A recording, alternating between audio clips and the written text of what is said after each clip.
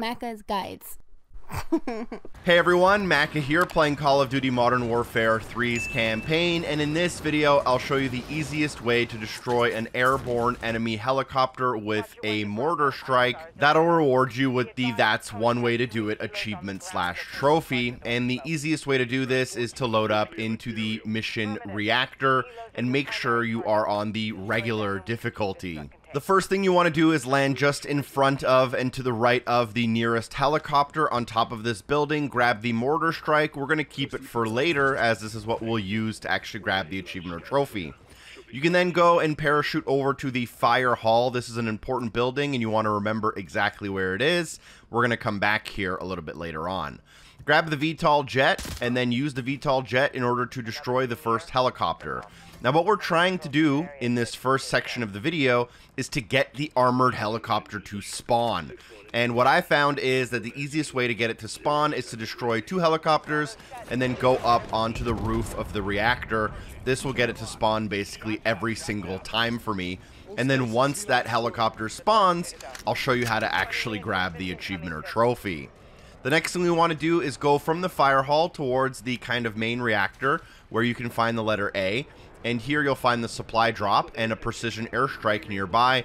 Use the precision airstrike to take out the second helicopter and make sure you grab your mortar strike back up as you will need it coming up soon. If you then run around the corner and ascend onto the roof of this reactor, this will almost always spawn the armored enemy helicopter. This is the helicopter you need. You may also get small enemy reinforcement helicopters to spawn, these do not count. The exact dialogue you're waiting for is Bravo 6, be advised, a Konni armored helo is overhead. And here it will spawn from the west. From the top of the reactor, once it spawns, let's go and get its attention. You want to just basically get underneath it and make sure your mini-map turns bright red.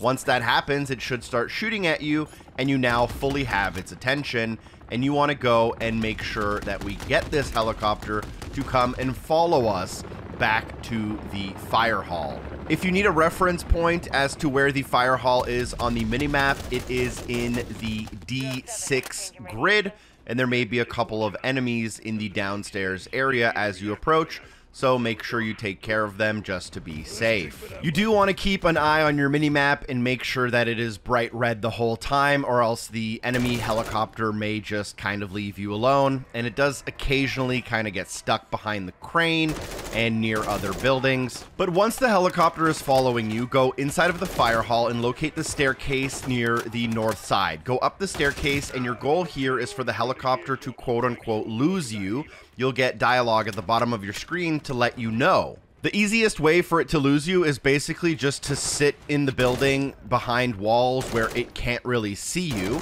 And once it does lose you, it will come to rest above you in this building almost every single time. Now, all you want to do is sit directly underneath the helicopter, aim your mortar strike at the roof, and fire.